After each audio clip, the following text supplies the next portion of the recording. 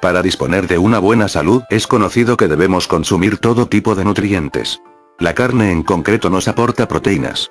Pero en muchos casos, por determinadas enfermedades como pueden ser la hipertensión arterial o el colesterol alto, se hace necesario disminuir la ingesta de proteínas animales. Por ello es esencial conocer cómo sustituir la carne en la dieta y así poder seguir manteniendo en equilibrio a nuestro organismo para que no disminuyan sus niveles de hierro. Las legumbres son uno de los sustitutos de la carne, se pueden realizar en una gran variedad de platos como potajes, estofados, guisos o cocidos. 1. Las lentejas son fuente de proteínas pero también de vitamina B y minerales. 2. Los garbanzos no poseen tanta proteína como las lentejas, pero por el contrario su contenido en hierro es casi tres veces mayor al de la carne. 3. Las judías y alubias son bajas en grasas, y contienen alta cantidad de hierro y fibra.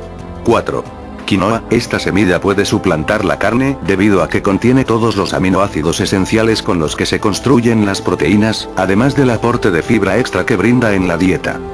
Los frutos secos como las almendras, las nueces, el pistacho, las pasas de uva, el albaricoque o los dátiles son una gran fuente de proteínas, minerales y también de vitamina E. Pueden consumirse en combinación con vegetales, añadirlos a salsas o arroces, o tomarlos en el desayuno junto con yogur o cereales. Los huevos también pueden sustituir la carne y aporta muchas proteínas. Pero para evitar provocar problemas con el colesterol, se puede consumir solo la clara en vez de la yema.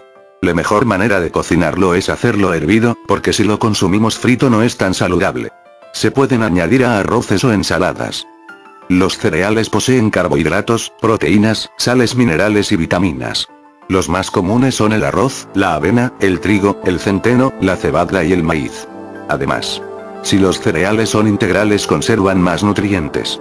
El arroz integral tiene el privilegio de ser el cereal más proteico, comparable su aporte al de la carne. Se pueden preparar en risotos, paellas, pastas. Las verduras. Hay una gran variedad de ellas en el mercado y se pueden aderezar para hacerlas aún más sabrosas. La mayoría de verduras frescas carecen de los aminoácidos que contienen azufre por lo que las verduras se deben complementar con cereales, frutos secos y semillas que permiten suplir dicho déficit. Las nueces se convierten así en el complemento ideal para los platos a base de judías verdes, coles de Bruselas o los guisantes.